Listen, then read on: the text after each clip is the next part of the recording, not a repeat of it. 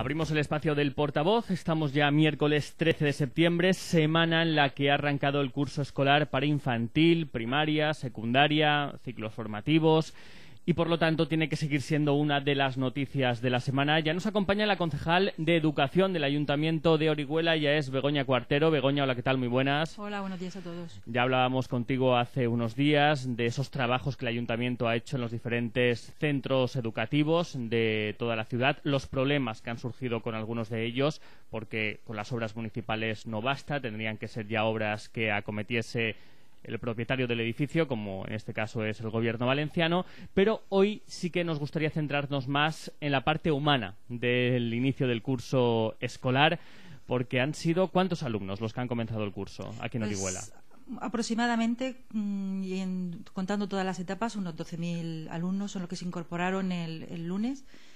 Es el primer año que se incorporan todas las etapas al mismo tiempo. Bueno, pero ha habido una coordinación total, no ha habido ninguna incidencia, todo coordinado. los centros han podido organizar paulatinamente la entrada de sus escolares y un día muy feliz para todos. Algunas lágrimas. Sí, los más pequeñitos, los de, tres años, los de tres años. Pero bueno, sus profesores estaban ahí con ellos, sus padres también pudieron convivir con ellos esa mañana, no los dejaron de la mano y poco a poco se van acostumbrando, todos nos hemos acostumbrado. Efectivamente y luego les encanta ir al colegio. Por lo tanto, esta crisis solo dura unos días. Begoña, también tenemos aquí aulas en Orihuela de dos años, ¿no? De mm, las experimentales que puso en marcha la Generalitat Valenciana del ciclo que es previo al de infantil. Sí, en el Villar Palasí. Mm, eso sigue este año igual. Siguen igual con, la incorporación de, esos niños en, ese aula.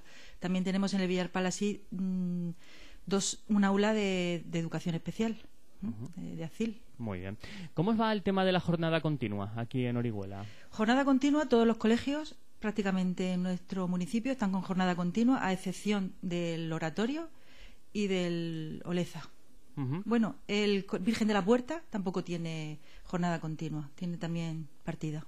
Son los tres colegios. Muy bien. los demás todos han unido a la jornada continua.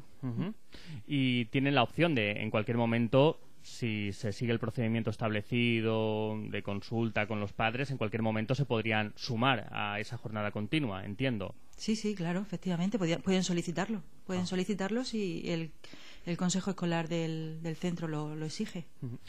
Incidencias que se han producido en las últimas semanas con el tema de las matrículas, escolarización, algún problema, algo anormal. Bueno, mm, problemas mm, siempre surgen porque son 12.000 alumnos, ¿no?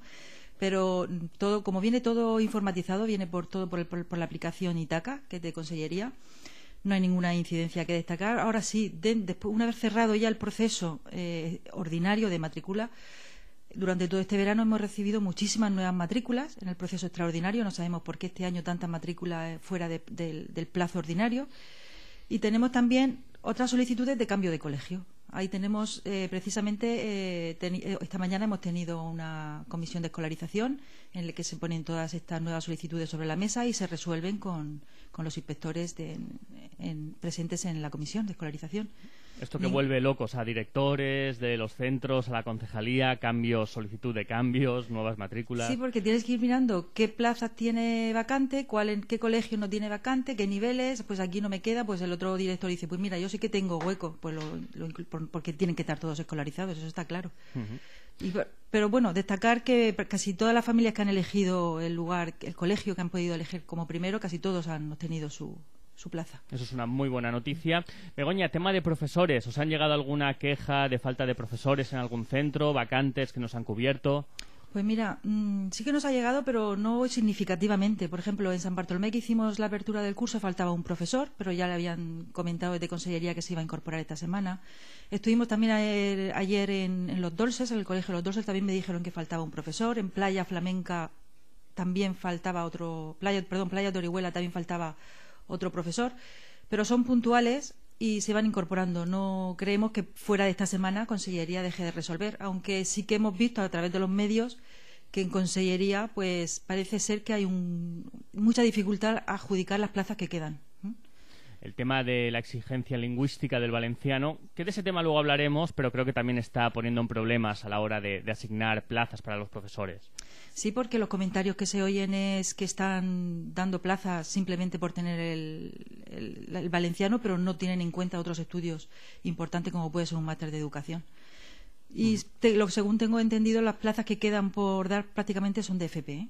Las demás están casi todas ya adjudicadas. De ciclos formativos. Sí, de ciclos formativos. Begoña, tema transporte. Mm, hay que dejar claro que el tema de transporte para la enseñanza obligatoria, eso no es competencia municipal. No, es de consellería, tiene sus beca, becados en transporte y el servicio este año va a funcionar exactamente igual que el año pasado, con las mismas rutas. Sí que tenemos, como ya dije en la entrevista anterior, que ha cambiado de empresa la, la licitación por parte de Consellería, pero ha empezado con toda normalidad.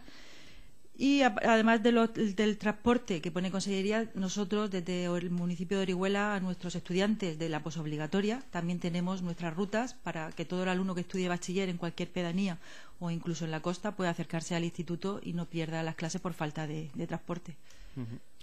Y así se ha iniciado el curso escolar 2017-2018 sin nada que destacar fuera de lo normal, con los problemas de todos los años, con las alegrías también de todo arranque de curso escolar.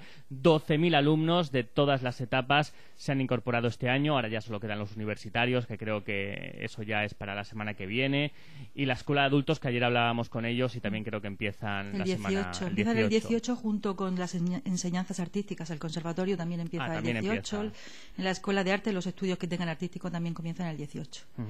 Eh, Begoña, ya más que como concejal de educación, que es más la parte burocrática, la parte administrativa, que hemos hecho un repaso, yo creo que más o menos hemos hablado de, todo, vamos a hablar del tema político, de la educación, que sin duda este curso viene marcado por ese decreto de plurilingüismo, el decreto por el cual se regula el idioma en el que van a estudiar nuestros hijos, qué otras lenguas extranjeras van a estudiar, en qué condiciones, algo básico, porque por supuesto lo importante son los conocimientos que van a adquirir de matemáticas, de ciencias naturales, de historia, pero todo eso se basa en el lenguaje y por lo tanto es que se regule el lenguaje que van a utilizar, el idioma que van a utilizar, que se regule qué lenguas extranjeras van a tener que estudiar y cómo, eso es fundamental. Y eso es lo que se sacó en un polémico decreto de plurilingüismo que puso en marcha el conseller de Compromís, Vicent Marsá, que los tribunales le paralizaron y que él ha buscado un recoveco para, de alguna manera, que no se pierda esa esencia del decreto y que este año entre en vigor. Este es el resumen, ¿vale? Este es el resumen del asunto. Como secretaria general del Partido Popular de aquí, de la ciudad de Orihuela, eh, ¿qué piensas de todo esto, Begoña? Pues comentar que para el Partido Popular el señor conseller pues es una falta de respeto, una falta de respeto a toda la, comunidad educativa, porque nos lleva de cabeza, ahora sí, ahora no, ahora pongo esto, ahora pongo lo otro, para los centros educativos, para los equipos directivos es un caos. Y también una falta de respeto a todos los castellanos hablantes y a todos los de la comarca de la Vega Baja y todos los que no tenemos como lengua materna el valenciano. Mm, eh, yo creo que es una falta de respeto y una imposición. El no dejar a las familias elegir, porque dicen que sí que ha dejado de elegir. No, las familias no han podido elegir. Han tenido que elegir los centros un nivel y han cogido el más bajo posible en la comarca, pero así, aún así, no es una elección porque te obligan a coger unas líneas en valenciano que tú a lo mejor no quieres para, tus hijos. O sea que es una falta de, de elección y además también una imposición. es como decir, voy a salirme con la mía como sea, yo me tengo que salir con la mía, si no es con este decreto, pues lo hago con este. Para el Partido Popular no vamos a dejar de, tanto en el municipio de Orihuela como en toda la comarca, que tuvimos el otro día una reunión de comarca, eh, pues luchar contra esta imposición y esta falta de libertad para todos los castellanos hablantes y, nuestra identidad en la comarca de la comarca de la Vega Baja. Pero con todo este lío ya uno se, se pierde un poco. En este curso 2017-2018, Begoña, no ha entrado en vigor el decreto de plurilingüismo. Todas aquellas votaciones que se hizo para elegir el nivel eh, de el nivel en el que se iba a establecer la educación, un nivel más bajo de valenciano que también aparejaba un nivel más bajo de inglés, que será el problema, el principal reproche, que si estudiabas menos valenciano, obligatoriamente estudiabas menos inglés, ¿no? Y era, y era la, principal queja. Decían, sí, menos valenciano, pero no menos inglés. Y ahí vino todo el follón. Todo eso no vale para nada, porque este curso no ha entrado en vigor. No, porque eso está paralizado. Ese decreto está por el TSJ está paralizado. Pero él ha hecho un decreto ley el Partido Popular está ahora mismo estudiando e investigando a ver cómo se puede llegar a, paralizar también este decreto ley si hay alguna vía legal que, lo justifique. Pero este decreto ley lo que hace es lo mismo, prácticamente, porque antes era el, nivel básico, ahora es el nivel A. A, B, ha cambiado los niveles, A, B, C, y antes en el básico mejor habían el 2 y los ha unido en uno. Pero prácticamente es lo mismo. En cuatro años, por ejemplo, perdón, en tres años, que este decreto solo es aplicable a los de tres años, ayer, por ejemplo, en la inauguración en San Bartolomé, los niños de tres años un colegio que tiene proyectos europeos, que apuesta por el inglés, le meten simplemente en su educación más horas de valenciano, creo que son cuatro horas de valenciano y ninguna en inglés. O sea que es raro, cual ningún docente, ningún profesor, ningún padre puede querer que para sus hijos en nuestra comarca, en aquellos que no hablamos el valenciano, y yo creo que en el resto de la comunidad, que se apueste por el valenciano y no se apueste por el, por el inglés. Yo creo que no podemos quedarnos en casa. El inglés es internacional, es un mundo global y, creo que en tres años es una locura. ¿Tiene el conseller Vicente previsto, no sé si os lo han comunicado igual, no, un acto aquí en la Vega Baja en los próximos días? Eh, no sé si mm, te ha en este momento yo no tengo conocimiento. No tienes conocimiento. No tengo conocimiento. Bueno, sé que está pendiente la, la, inauguración del curso en la UMH, que siempre acude. No sé si este año también participará. Sí, pues eh, creo que sí que a finales de mes hay algo en Torrevieja. Puede ser, ¿eh? no, no lo tengo confirmado. No lo quiero tampoco dar como noticia porque no lo tengo confirmado, pero creo que sí que tiene un acto previsto para final de mes eh, en Torrevieja. Y esto Estaremos sí que atentos. Lo destaco más que todo porque todavía no ha venido Vicente Marsa a la comarca de la Vega Baja. Más de dos años en el gobierno y no ha venido. Por eso digo eh, anticipo que es posible que haya un acto en el que asista Vicente Marsá a finales. Por eso lo, elevo a categoría de, posible noticia, porque como no ha venido todavía, pues no hemos tenido la oportunidad. Le hemos invitado muchas veces a Alfonso, le hemos invitado que venga, que entre a un colegio nuestro, a un aula de tres años, o el aula que, invitado está, o sea que le esperamos. Muy bien. Begoña Cuartero, ella es concejal de Educación del Ayuntamiento de Orihuela. Muchísimas gracias por habernos atendido y enhorabuena por el inicio del curso, que, que parece que todo va bien y eso siempre es una buena noticia. Muchas gracias y feliz curso a todos.